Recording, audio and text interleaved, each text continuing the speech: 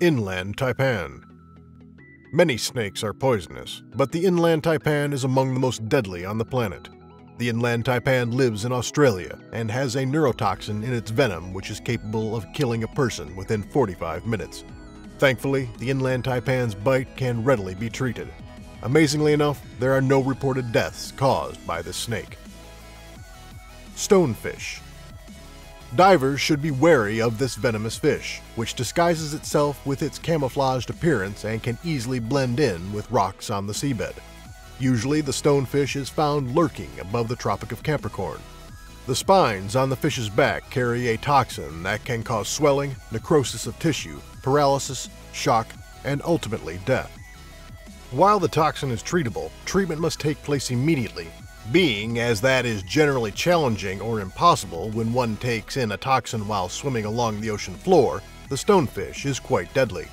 If possible, the victim should immerse the wound site in hot water while traveling to the nearest hospital.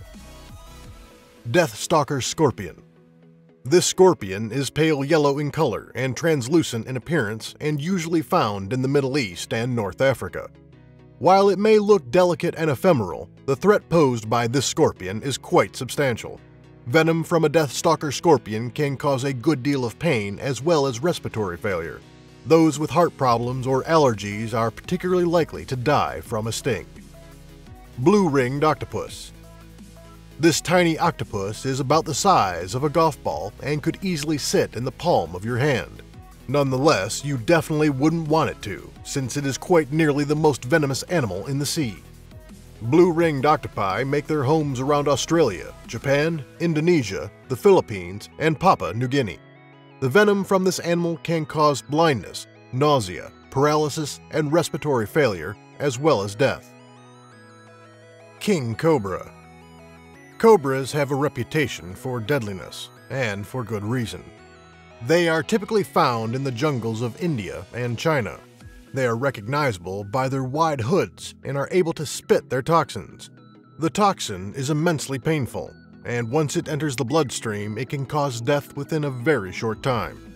7 milliliters of venom from this animal is enough to kill an elephant, or 20 human beings. Box jellyfish. This jellyfish is widely regarded as the most poisonous animal in the world. It floats in the waters surrounding Asia and Australia, and is so transparent that it is nearly invisible if you are not looking for it.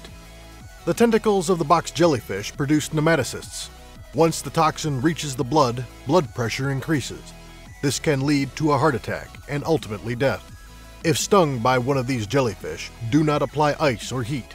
If you have some vinegar, try soaking the wound site for half an hour while you drive to the nearest hospital for aid.